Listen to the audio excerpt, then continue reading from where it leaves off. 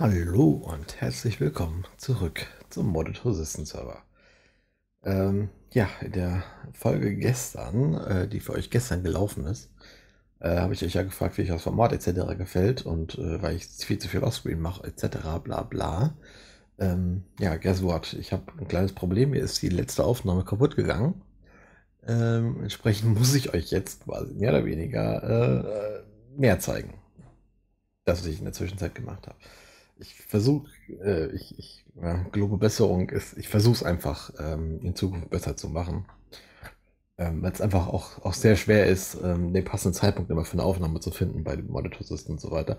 Und man macht einfach automatisch viel Offscreen, weil es halt einfach Unmengen an, an Farmarbeit ist und äh, gerade durch GregTech braucht alles, braucht alles so Unmengen an, an Materialien und an Zeit und, und dann macht man so die, die ich sag mal, die praktischen, guten Sachen, die interessant wären, vielleicht auch mal zwischendurch einfach nebenbei.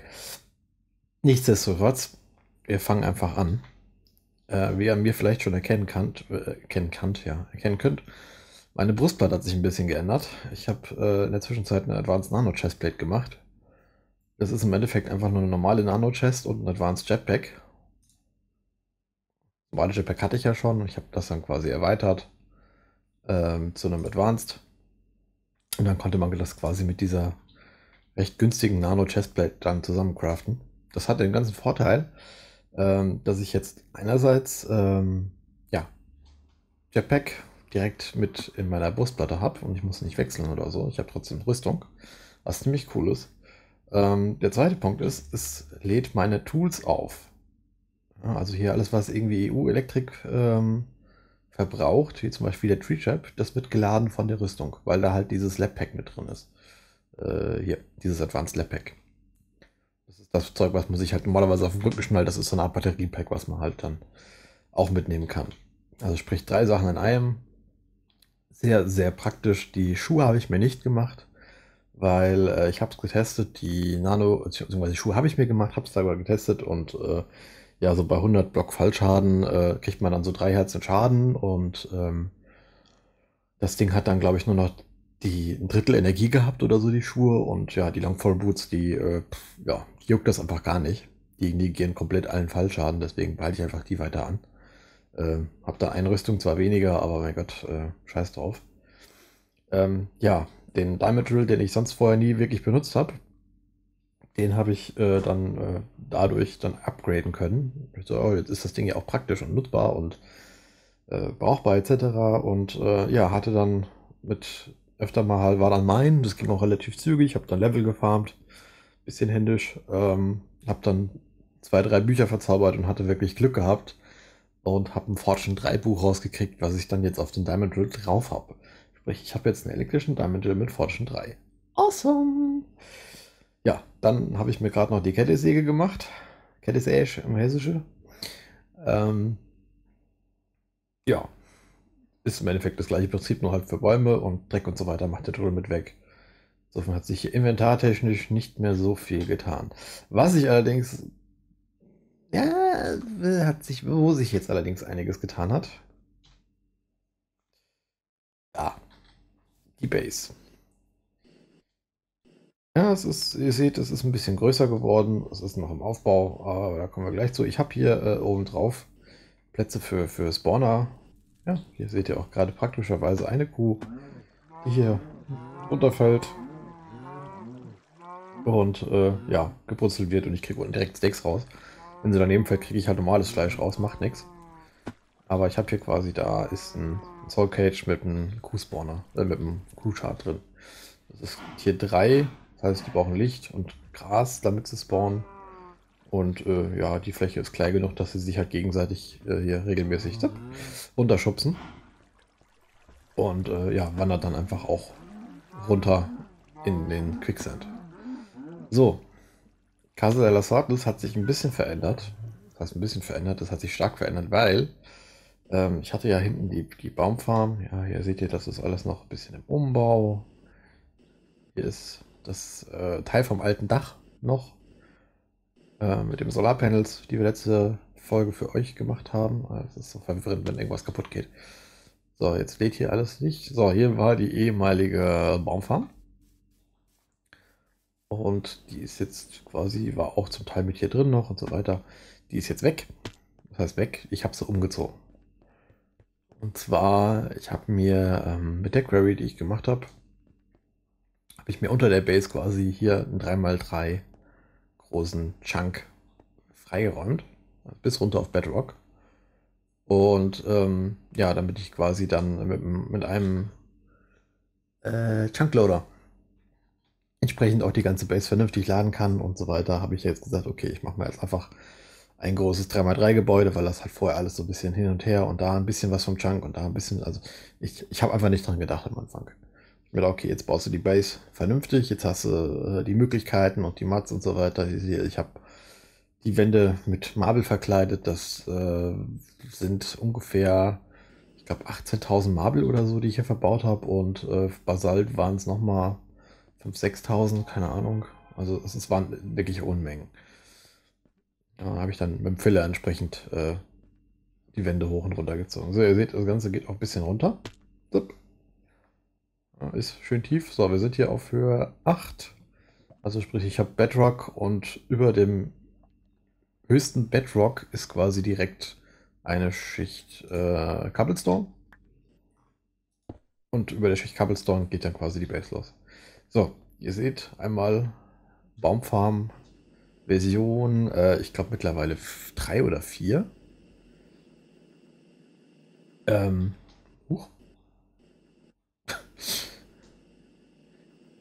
So, ja, ähm, im Endeffekt, das, was ihr ähm, letztes Mal oben gesehen habt, was draußen stand, das waren ja quasi das Ganze mit zwei Cards.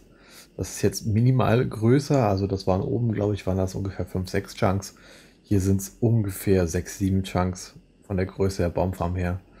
Ähm, nur das Ganze ist, ich habe es jetzt quasi mit 6 äh, Steve Cards gemacht.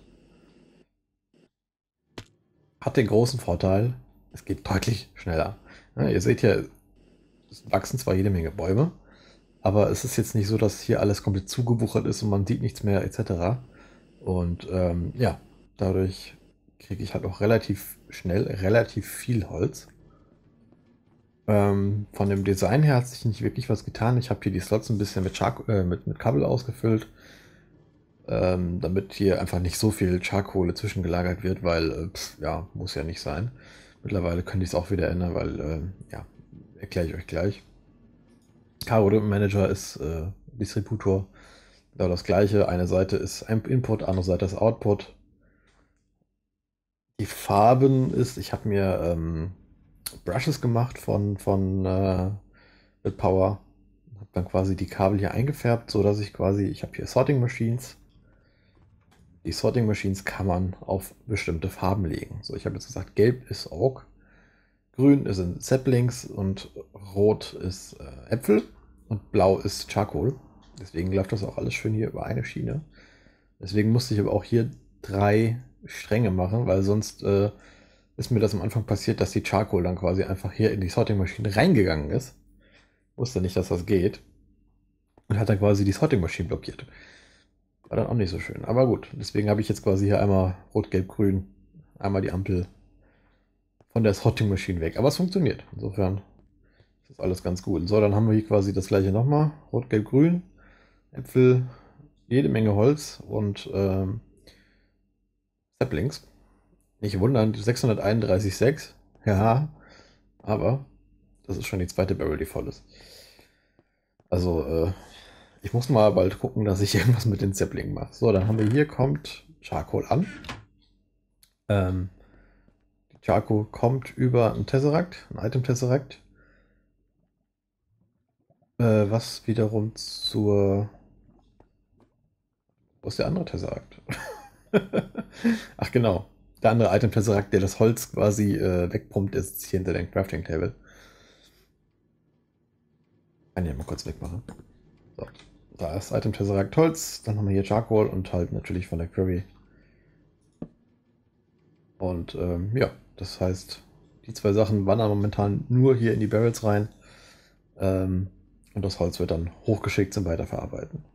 So, in der nächsten Ebene, also ich habe jetzt quasi hier immer, das sind, äh, ja, klar, die Baumfarbe braucht ein bisschen mehr Platz, deswegen habe ich hier dann, hier soll dann ähm, Ja, was soll hier rein? Hier soll die Stromproduktion rein. Ich denke mal, vom Platz her ist es sogar so groß, dass ich hier vielleicht später sogar einen Fusionsreaktor reinkriegen würde. Momentan ist jetzt hier erstmal nur die Zwischen, äh, Zwischenlager vom, vom äh, Blue Electricity oder Blue Electricity, wie das heißt. Sprich, wir haben hier die Bedboxen, die einfach nur den, den Strom speichern. Äh, hier ist quasi, ich habe in jeder Ecke habe ich einen ähm, Kabelschacht gemacht. Da weiß man nie, was man braucht. Nur hier ist es quasi, hier habe ich erst das Treppenhaus in die Ecke, weil ich es halt Treppenhaus in der Ecke haben wollte. Und den Kabelschacht halt daneben.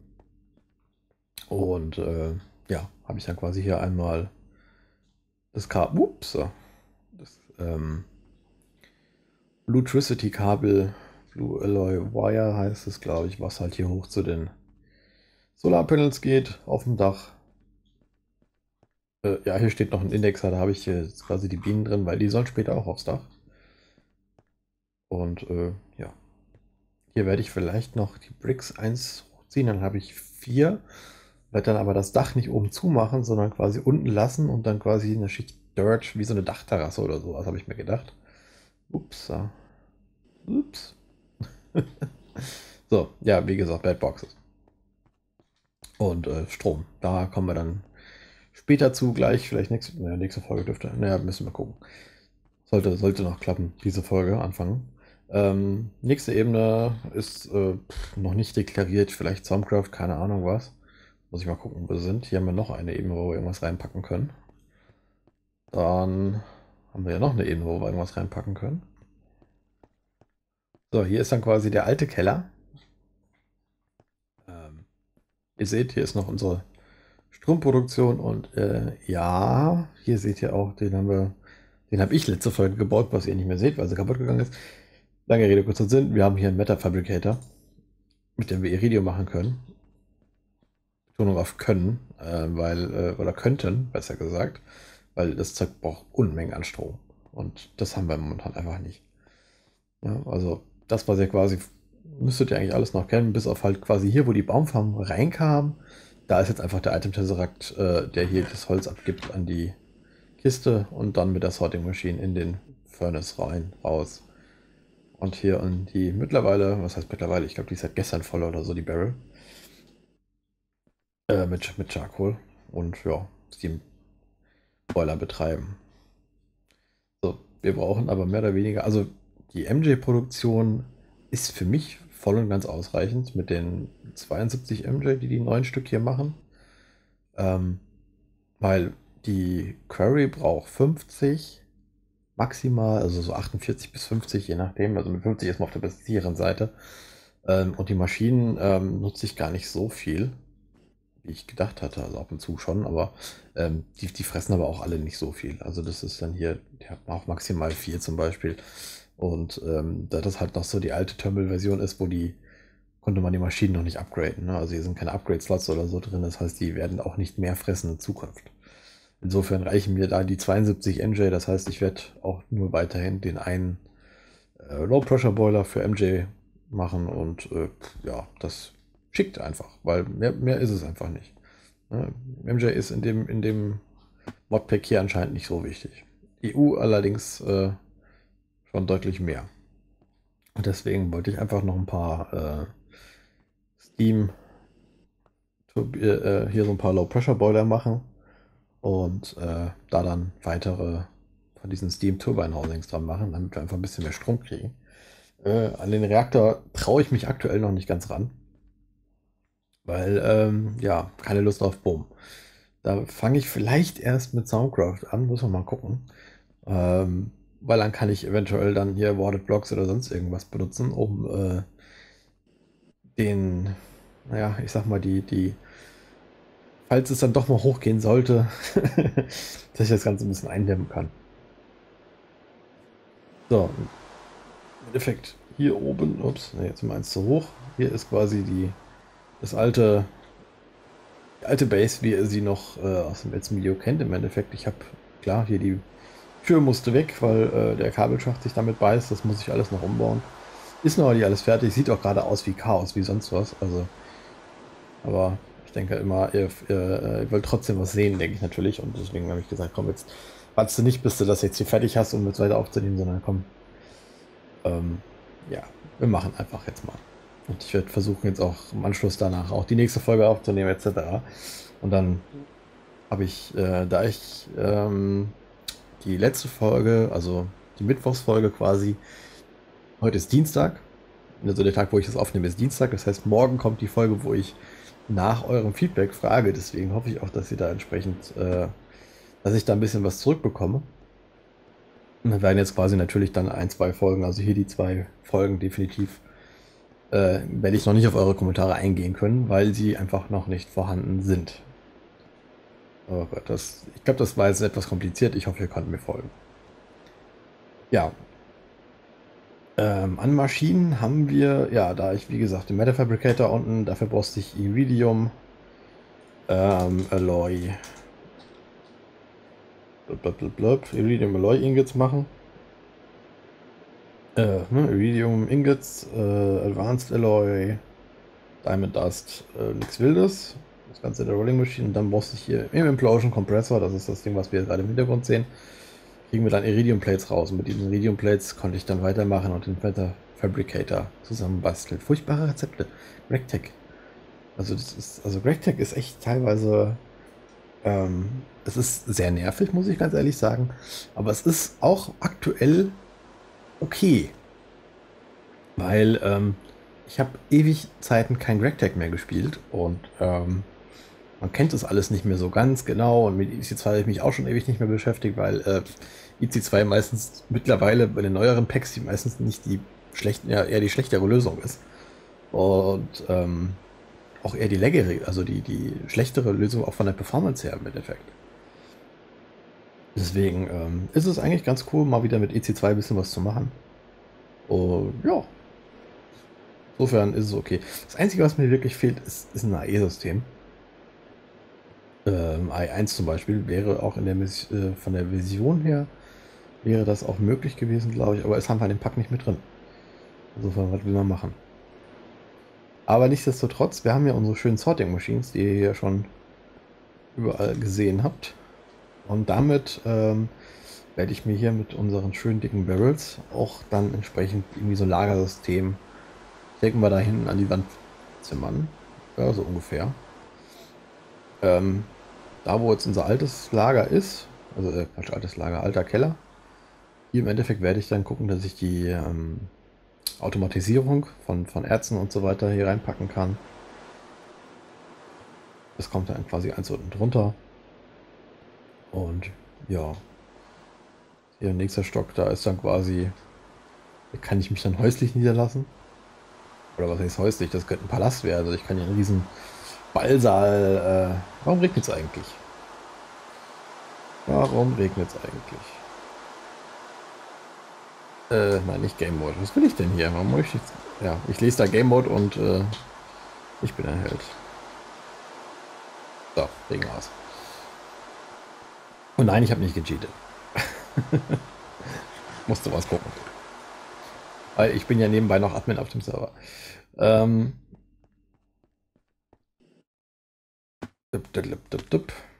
So. Und Dach kommt dann, wie gesagt, da sollen dann die ähm, Bienen später noch hin und äh, ja, Solar etc. So, im Endeffekt ähm, würde ich gerne anfangen, den Strom umzuziehen mit euch. Ähm, theoretisch wäre die Folge jetzt zu Ende. Aber wisst ihr was, wir machen einfach mal ein bisschen länger, weil, äh, ja, I owe you. Kannst leider nicht ändern. So, hier ist Holz und uh, hier soll Strom hin. So, ich habe natürlich, ihr kennt mich, ein bisschen was vorbereitet. Ich habe nämlich noch ein bisschen, weil das Zeug braucht einfach, ähm, ich bin auch nicht mal ganz ich, ich äh, ihr seht, ich bin total ein bisschen verwirrt und äh, kriege hier nicht mal einen vernünftigen Satz fertig. Was im Endeffekt auch daran liegt, dass äh, so viel zu tun und, und äh, so viel, an das man denken muss und etc. So, was ich im Endeffekt sagen wollte, ist, ich habe Material hier für drei ähm, Low-Pressure-Boiler. Dann habe ich hier Material für drei, äh, ja doch, das sind drei, ich brauche zwölf pro Stück. Drei äh, Steam-Turbinen. Ich habe noch vier MFSUs gebastelt.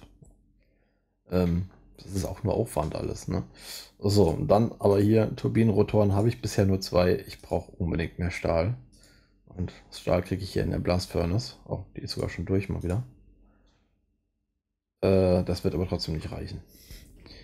Anderes Problem ist, mir geht mittlerweile das Eisen aus. Mir gehen überhaupt die ganzen Mats aus. Ja, da habt ihr gesehen, da waren jetzt noch 55 drin. Ein Stack habe ich rausgeholt. Äh, und hier, oh, guck mal, hier ist noch Stahl. nice. Äh, hier ist, glaube ich, nicht mal mehr Eisen drin. Also ich glaube, ich habe fast kein Eisen mehr. Äh, aber ich habe Juju Meta, ja. Ich habe ähm, den Meta-Fabricator ein bisschen laufen lassen und mal geguckt, wie das so funktioniert mit der mit dem Stromverbrauch. Nicht wirklich gut. Also mehr als die vier habe ich auch noch nicht. Also da ist noch weit entfernt von äh, OP irgendwas herstellen können. Ähm, die Stark Ash wollte ich wegpacken. So. Ja? Mehr als ein Stack im Wetter. Na gut. So. Schmeißen wir hier noch eben ein bisschen Kohle in den Macerator. Und ein bisschen Refined Iron. Dann kann nämlich die Stahlproduktion im Hintergrund weiterlaufen. Weil, wie gesagt, ich brauche Unmengen. Es ist. Äh. So, ja, habe ich schon mal 8 Block of Iron habe ich gemacht. Wofür habe ich dann 8? Ach genau, ich brauchte noch mehr ähm, werde früher oder später noch Dark Iron Ingots mehr brauchen, um halt die Barrels zu upgraden. Dafür habe ich dann schon mal sicherheitshalber ein bisschen Eisen weggepackt. Na komm, das dauert ja auch ewig. Habe ich Upgrades drin? Ja, aber es dauert trotzdem ewig. Ich muss die Maschinen irgendwann mal alle auf ähm, höhere äh, Stromtiers setzen und so weiter und dann mal entsprechend Upgrades da reinpfeffern. So. Das hält nicht lange. Egal. Haben wir die 6 noch da rein. Was wahrscheinlich überhaupt nichts bringt, aber egal. Ähm so, Sortiersystem soll ja hier oben hin. Und Strom wollte ich machen. Genau. Habe ich, wo habe ich denn alte Maschinen hier rumgammeln? Query, Filler, ähm, was man so braucht.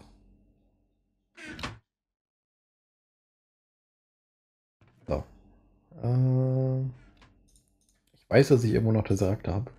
Da. Unattuned. Und zwar hätte ich gerne noch ein Item Tesseract. Zinn, Silber, Zinn und ein Servo. Servo war zwei Eisen. Das kriege ich gerade noch so hin. Äh, aber nicht aus dieser Kiste. Zwei Eisen, zwei Glas. Redstone. Habe ich Redstone? Nee, habe ich nicht einstecken. Dann haben wir hier. Es ist dunkel hier. Die Lampen sind weg. Ja, kommt alles noch. Kommt alles noch. So, Servo. Ähm, 13, 2 Silber.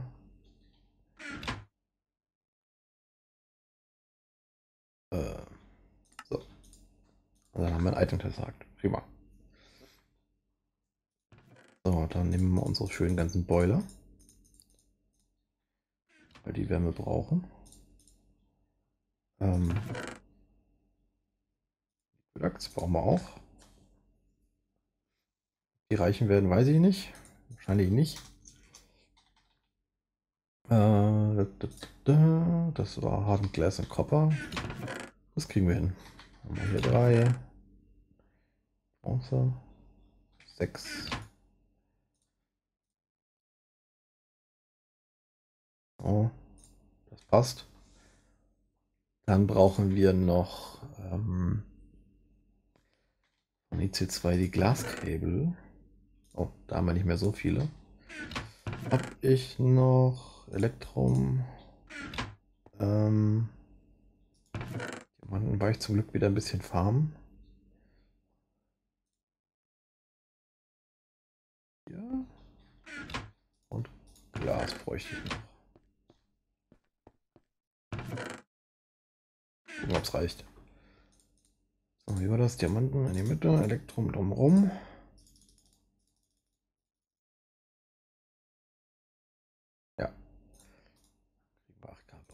35. Ja, sollte reichen. So, dann haben wir alles. Ähm, nee, haben wir nicht. Huch.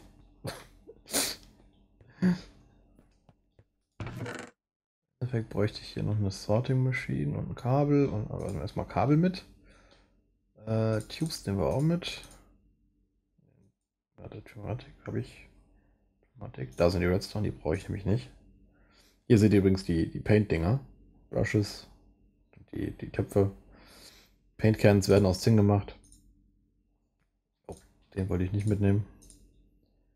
So, wir haben jetzt gerade keine Sorting Machine, deswegen nehmen wir jetzt einfach mal dich damit. Kabeltechnisch. Oh, halb so wild. Und eine Kiste brauchen wir, glaube ich, noch. Kiste, Kiste. Habe ich keine mehr vorrätig. Äh, hier habe ich Turbinen das gemacht. Stahl. Das sind drei Stahl übereinander und das Block auf diese neuen ist klar. Also das ist pro Turbine äh, brauche ich, also pro Turbinenrotor brauche ich, glaube ich, das sind 99 äh, Stahl, die man dafür braucht. Entsprechend viel Aufwand. Vielleicht kriege ich ja die Blast Furnace Mal gucken, ob ich in die Blastfurnace nicht eventuell mal ein paar Upgrades reinpacken kann. Das ist ja, schauen wir gerade mal nach. Das, nee, nee. Industrial Blast Furnace. Doch. Possible Upgrades, Overclock, Transformator, BM, keine Ahnung. Aber äh, ja, Upgrades gehen rein. Das heißt, den kriegen wir auch noch schneller, wenn es sein muss. Das werde ich auch bald mal tun, weil, äh, ja. Aber zuerst werde ich ähm, die Query wieder anschmeißen müssen. Aber um die Query anzuschmeißen, muss ich, äh, will ich, was heißt muss ich, muss ich nicht, aber hätte ich gern mein Sortiersystem fertig. Weil sich nicht alles per Hand machen. Ganz einfach. Okay. So, wir haben hier, sind wir mit ähm, Blue City, Blue Electricity. Ich komme mit dem, mit dem Namen immer noch nicht hin. Das wird Power 2 Zeug halt. So. Dann mal also im Hintergedanken lassen, dass wir vielleicht in die Mitte den Fusionsreaktor irgendwann stellen könnten. glaube ich, fange ich dann hier an der Wand an und mache äh, Steam-Geschichten. Was mir eben einfällt, ist, dass ich kein Wasser ans Wasser nicht gedacht habe. Aber das äh, kriegen wir dann auch noch irgendwann hin. So, dann machen wir das hier jeweils zwei frei.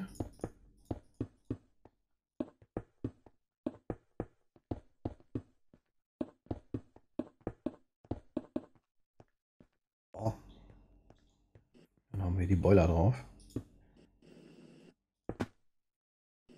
1, 2, 3, 4.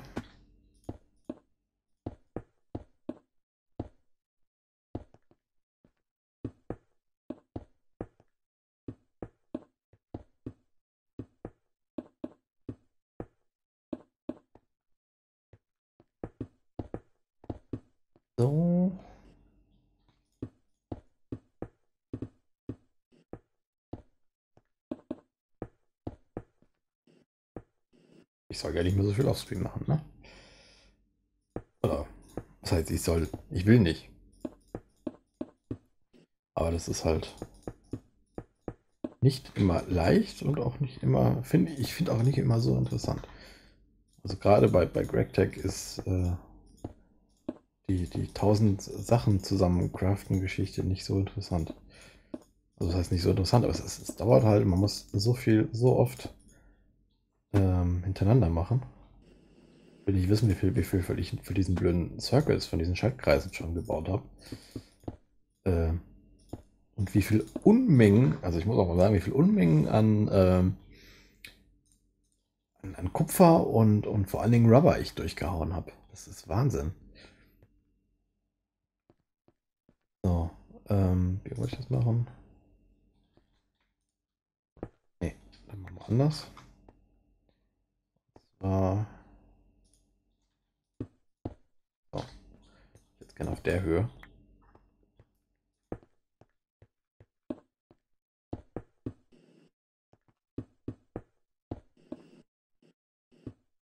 einmal.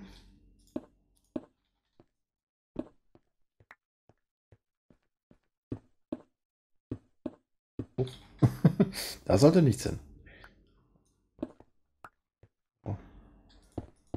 Damit sein Multiblock auch klarkommt hier. Dieses Jetpack, ne? Bin ich froh, wenn ich irgendwann die... Äh ich meine, das, das Advanced hier, das ist schon ganz nett. Hat auch so einen Hover-Mode, der dann wo man dann ein bisschen langsamer steigt und ein bisschen langsamer sinkt. Aber äh, der ist auch mehr unnütz, nervig, keine Ahnung. Und solange ich diesen, diese, sag jetzt mal, diesen Vanilla-Flug äh, noch nicht habe, lasse ich das auch einfach aus und ja, ist nicht so einfach. Aber die, die Gravity Plate, die ist zwar noch in weiter Ferne, aber Irgendwann wird sie kommen und dann passt das auch. So, wir haben hier unsere Steam Housings. Ähm, ich hätte gerne eins, zwei, nee, so nicht. Ähm, wo ist mein Omni Ranch?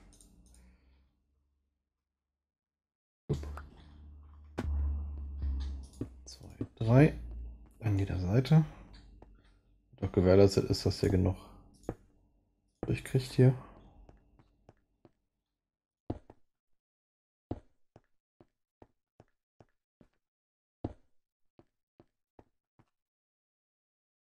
Und dann können wir hier mal jeweils die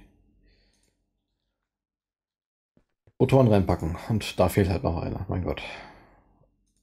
So, die machen dann wiederum Strom. Wie mache ich das denn jetzt am geschicktesten? MFSU. Ja, ich kann es eigentlich parallel laufen lassen. Warte mal, eine kommt ja von oben noch runter. Dann habe ich hier vier. Heißt, und ich habe oben aber auch noch eine MFSU. Dann machen wir das einfach. Ey, wisst ihr was? Wir machen das ganz anders. wir machen das einfach. Nein, wir machen das anders. Ähm, ich lege einfach Kabel runter. Und zwar so. Und dann halt später der da so hin. Und dann ziehen wir das einmal hier in die Mitte. Na, vielleicht nicht da, sondern hier. Und dann hätte ich gerne hier ein paar. Na komm, Stell so an. Mach jetzt. Dieses.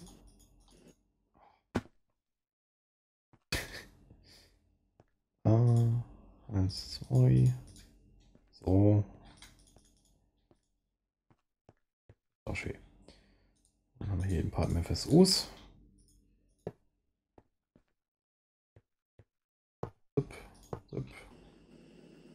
Zup.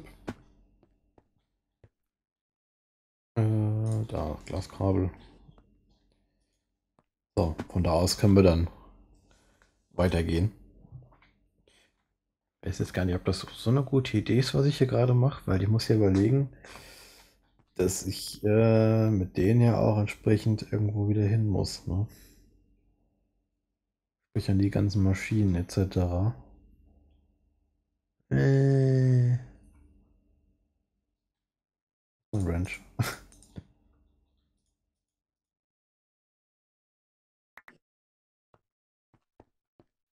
3, 4. Lassen das mal, machen wir machen das schon, aber wir machen, lassen mal ein bisschen Abstand. So. Äh, ne, ich sollte drei Abstand lassen. Damit ich nämlich dazwischen eventuell noch Kabel legen kann.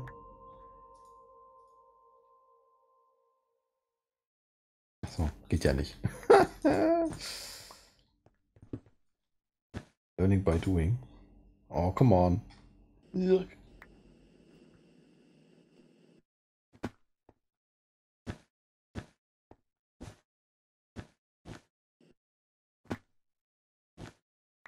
Oh.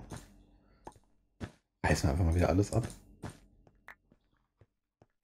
Aber so ist das halt, wenn man ein bisschen basteln will. 1, 2, 3. 1, 2, 3. 1, 2, 3.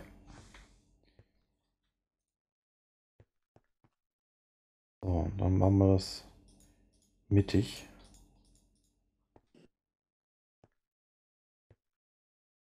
Ähm, weg. Weg. Weg. Vielleicht noch ein paar Fackeln aufstellen.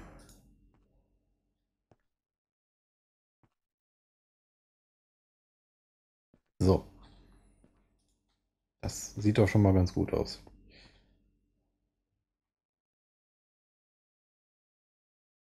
Äh, ja. So, ich mache jetzt aber nichts offscreen. Außer vielleicht die Kraos Accumulator noch holen oder basteln. Und dann sehen wir uns auch, ähm, würde ich sagen, in der nächsten Folge wieder. Dann machen wir einfach weiter. Ich sage vielen Dank fürs Zuschauen. Ich hoffe, äh, ihr seid ein bisschen entschädigt durch die jetzt lange Folge von knapp 37 Minuten. Und ähm, ja, ich sage vielen Dank fürs Zuschauen und bis dann. Bis zum nächsten Mal. Ciao, ciao.